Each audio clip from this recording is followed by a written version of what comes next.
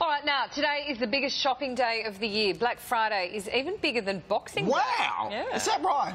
People are expected to spend more than $50 billion worldwide.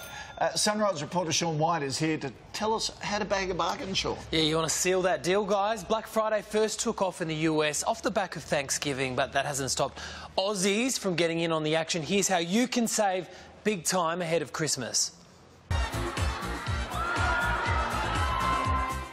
Happy Friday. Yes, it's Black Friday.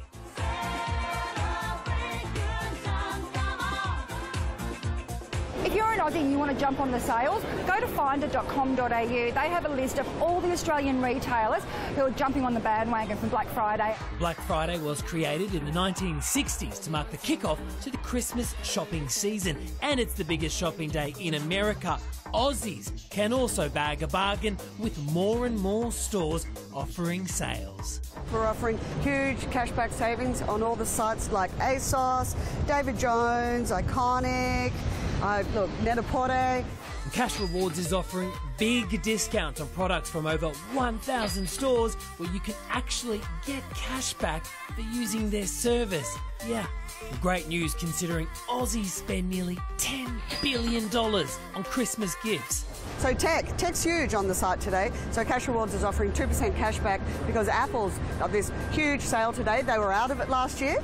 And so today they're offering free shipping on everything you buy across their site today till 5 p.m. Another great website to visit is Catch of the Day, which will have one hot item on sale from tonight. Everyone's after it the Nintendo Classic Mini Nintendo Entertainment System. But one warning if you're buying electronics from the US.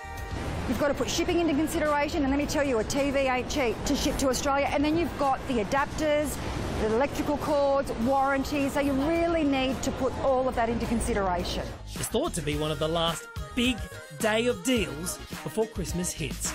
Yeah, in the US, they also have Cyber Monday, which is sort of more focused on electronics, but for us, it's all Black Friday. It's already started. I heard you guys going, oh, what are you looking Yeah, at? so, so it's a thousand stores, For Australian stores. Yeah, through Cash Rewards. Right. Um, they've got an interesting system where you sign up and they actually give you a bit of cash back for using their service.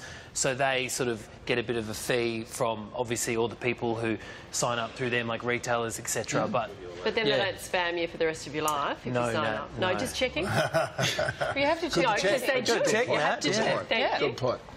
All right. That's great. Thanks, Sean. Hmm. Fascinating.